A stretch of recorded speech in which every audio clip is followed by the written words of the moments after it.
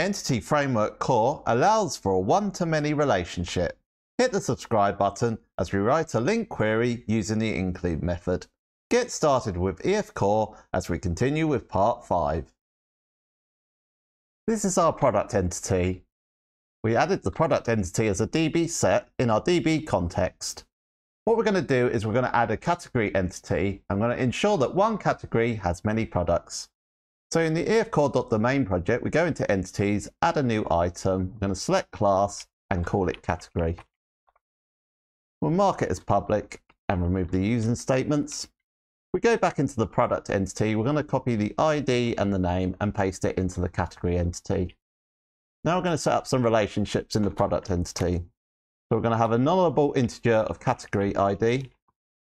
Then we're going to have the relationship to the category entity as well.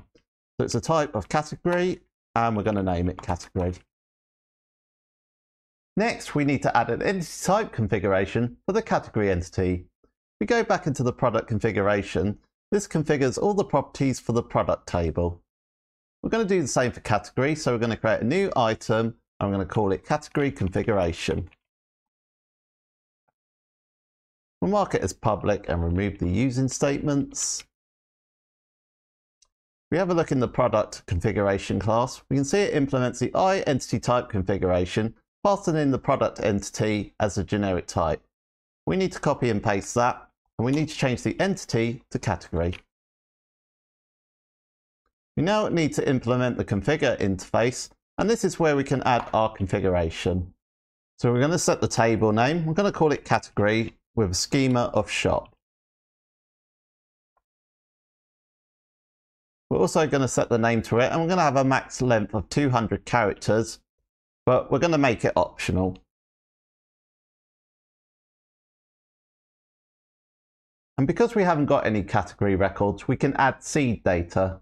Seed data allows you to add default data when running the migration. So we call builder.hasData and then we can define our categories.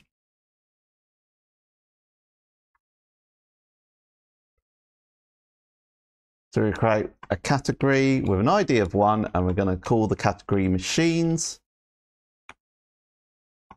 And we create another category with an ID of two, and we're going to name it accessories. And that's set up for us. Next, we need to add a migration for our category entity. After that, we need to update it against the SQL Server database. So we go into Tools, NuGet Package Manager, and Package Manage Console. Ensure that the default project is set as roundthecode.efcore.infrastructure. I'm going to add the migration by calling add-migration. I'm going to call the migration add category. That's added our migration. So it's added a new column into the product table for category ID. It's then created our category table as part of the migration. So it's got the ID there and the name. Set the schema as shop and the name of the table as category. It's then got our seed data, so it's going to add in machines and accessories with an ID of 1 and 2 respectively. And then it's creating the indexes and the relationships between the product and the category. In order to update the database, we just call update-database. Let's go into our SQL Server database. So we go to View, SQL Server Object Explorer. We open up our local DB, go to Database, roundthecode, EF Core, go into Tables. We can now see that we've got a category table. We can see it's got our records in there of machines and accessories. If we go back into the product and go to view data, we can now see that we've got a category ID column in the product table. Now we want to add a category ID property when inserting and updating a product entity to the database.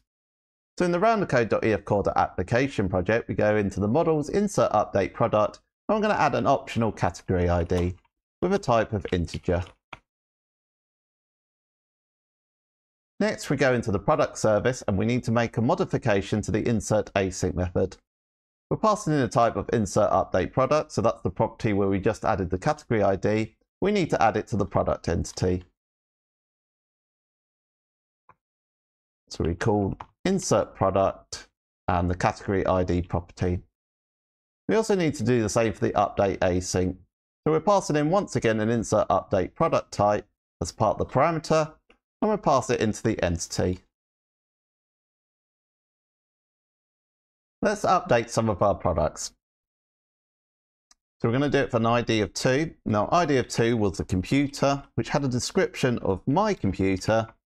It was priced at 500 and we're going to set the category ID to 1. We've executed that and we've got a 204 response. We're going to do it for one more.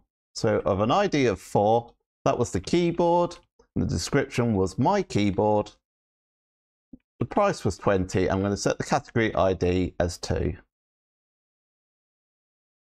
And that has also returned a 204 response. Let's just verify that our records have been updated.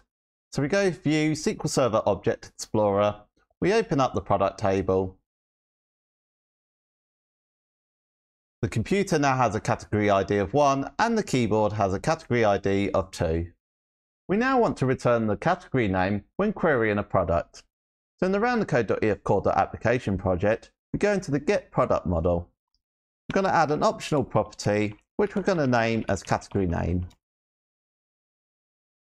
We then go into the product service and we'll notice that we've got a couple of get async methods that we need to modify. Start off with the get async. So we find the products DB set as part of the DB context query. We're going to call the include function and we're going to include the category entity. We then need to return it as part of the response. So we'll add the category name that we just added and we're going to call product.category with a question mark because it might be nullable and the name. We need to do the same for the get all async method as well. So as part of the DB context, we call the include function and include the category entity. And then we can return the category name as part of the response but we need to do a null reference check for this. So if it's not null, then we return the category name. Otherwise, we just return null. And we can do the same for the other get all async method that we've got. And up here, we've got the query. We need to also add the include and add the category entity. Let's do a single check. So we're going to pass in the ID of 2. We've got the category name of machines. We'll do it for one where the category doesn't exist. That's returning the category name of null. If we now return all the products, the category name is being returned for products where there is a category and being returned as null if there's not a category. Watch the next part to continue learning about Entity Framework Core. And if you want to watch any video in our Get Started with EF Core course, check out the playlist at roundthecode.com slash efcourse. There is also a link for it in the YouTube video description.